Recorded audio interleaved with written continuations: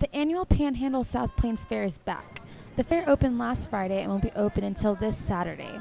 After just a few days into the opening of the fair, Lubbock residents have already seen and experienced what the fair has to offer this year.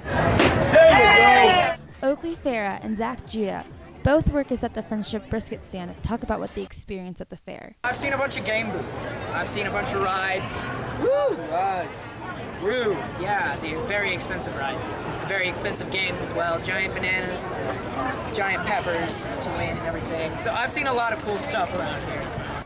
They then go on to say what has been one of the things that specifically got their attention. Robot that really scares me. Yeah, the robot. I don't really like him. He, he plays music and he follows you. Like, he followed me around the stand until I ran inside. Michaela Contreras and Nick Torres also expressed that the infamous Rock-It the Robot was an interesting thing that they experienced at the fair. The robot, it's like the big old blue thing where it's like, blue robot. They, uh, you never seen it? In contrast, grandparents Ricardo and Nina Alegria say that their young grandchildren enjoyed many events.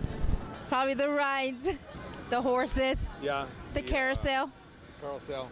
They also spoke about one of the fair's free events that they were entertained by. Ah, the family, Matt. Matt's family, the little singing. That was fun because the kids got involved.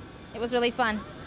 Farah and Judah expressed some events Lubbock residents should check out at the fair. The seals, the seals And is then definitely our plus- brisket, of course. Yeah, go and get some brisket, Our and then brisket. go and see the seals. The South Plains Fair is also a place for fun and entertainment.